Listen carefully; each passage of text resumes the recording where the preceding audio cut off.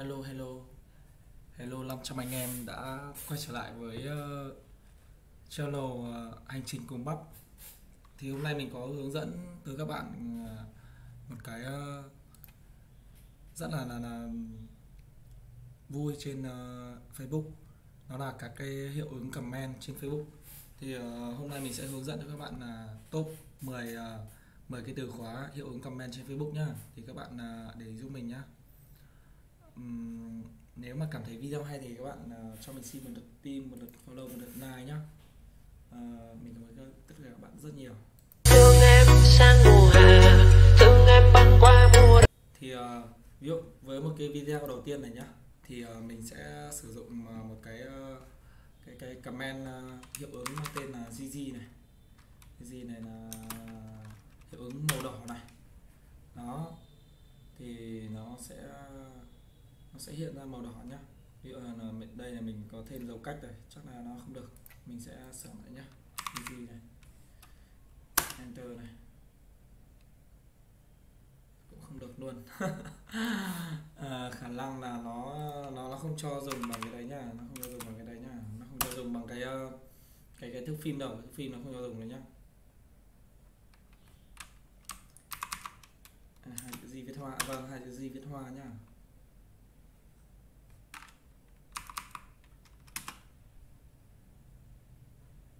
Hiệu ứng GG này là là là là nó nó nó đang bỏ rồi. Để hiệu ứng khác xem là hiệu ứng OXO xem nào. O nhá. Hiệu ứng OXO thì cũng tương tự GG nó cũng là hiệu ứng trái tim. Mà nó nó không cho, nó không cho nó nó không cho nó, mình sẽ sử dụng một hiệu ứng khác nhá.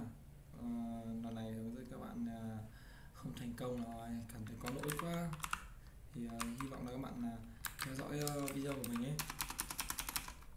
Ủng hộ mình bằng một lượt ờ, tim một lượt like, một lượt follow nhá. Rồi mình sẽ cố gắng ra video chất lượng hơn nữa uh, cho các bạn nhé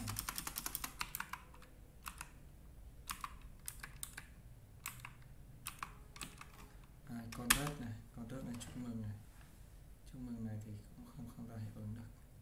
Cũng không thể ra hiệu ứng được các bạn vậy là là là cái ờ, cái cái ấy của mình là đang có vấn đề rồi. Có vấn đề facebook của mình đang có vấn đề về về cái ờ, cái ờ, uh, dùng hiệu ứng này nhá. Thì là các các bạn vẫn có thể dùng đấy.